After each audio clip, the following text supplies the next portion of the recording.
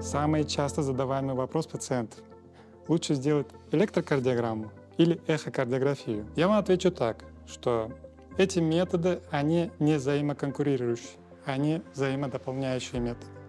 Чтобы вам было понятно, электрокардиограмма — это метод диагностики, который определяет ритм сердца, частоту сердечного сокращения, проводимость. Косвенно можно судить о расширении полостей, э, точно можно судить, есть ли повреждение сердечной мышцы. Поэтому это метод очень простой, доступный, безопасный и достаточно информативный. В основе электрокардиограммы снятие биополя сердца и те волны, которые вы видите.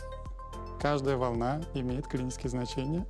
И для этого наши врачи-функционалисты долго учатся для того, чтобы качественно ответить, шифровать кардиограмму, ответить на вопросы клиницистов. Что касается эхокардиографии, это тоже довольно распространенное, безопасное, доступное исследование, которое нам дает ответ о строении сердца.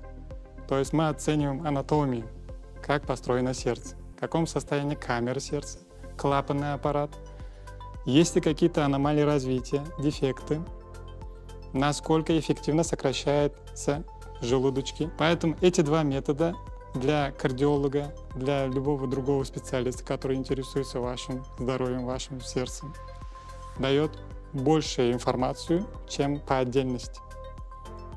Поэтому лучше, если есть вопросы, сделать и то, и другое. Например, если пациент ко мне приходит жалобами на боли в груди, я первым делом снимаю кардиограмму, потом делаю эхокардиографию, чтобы понимать, полностью понимать о состоянии сердца. Ну и немаловажное анамнез заболевания, жалобы пациента. Это все совокупностью даст нам больше информации о состоянии сердца.